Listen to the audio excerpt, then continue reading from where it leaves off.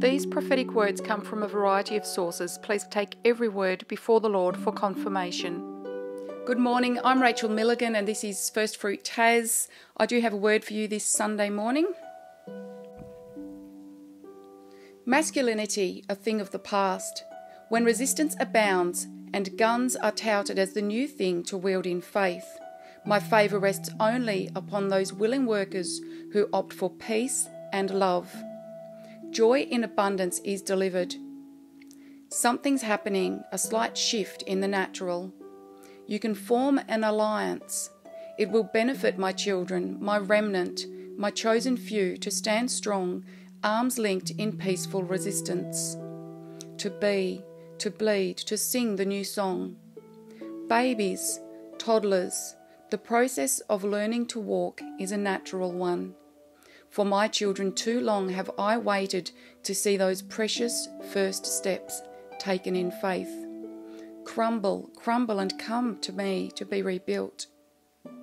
I make strong warriors of faith and humility, for it takes restoration. It is imperative, my child, that soon my willing workers take the bull by the horns no longer a waiting game, but a slide to shoot my living waters and bring unrest. Here I had a visual of um, a water slide just shooting water out. Do not put your faith in guns. When my son pours out his heart over willing workers and lost lambs bleat to be lifted up against the crazy backdrop, to be brought crashing down indignantly, only to rise up from ashes and sing my praise. So go out, let my remnant speak of the good things I have to offer those who turn their heads and look with faith and humility towards my pure and unsullied light. There is a scripture to go with this word. Matthew 26:52 NIV Put your sword back in its place, Jesus said to him, for all who draw the sword will die by the sword. For those who prefer King James Version. Then said Jesus unto him, Put up again thy sword into his place, for all they that take the sword shall perish with the sword.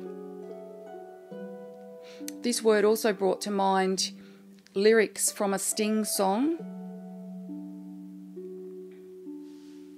Um, the song is Englishman in New York.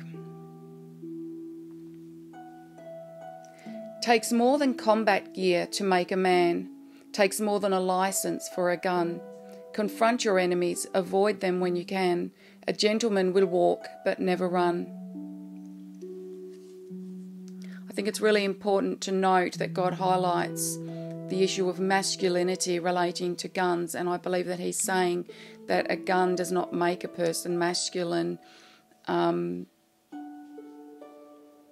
I really don't want to add or take away from this word, but I think, yes, certainly seek the Lord on this and don't shoot the messenger. I have held guns in my hand in the past. Um, I'm not biased either way. I believe the power is in people and in prayer, not in guns, whatever way you want to take that message. Okay, I really do pray that this video blesses you. God bless. Have a beautiful day.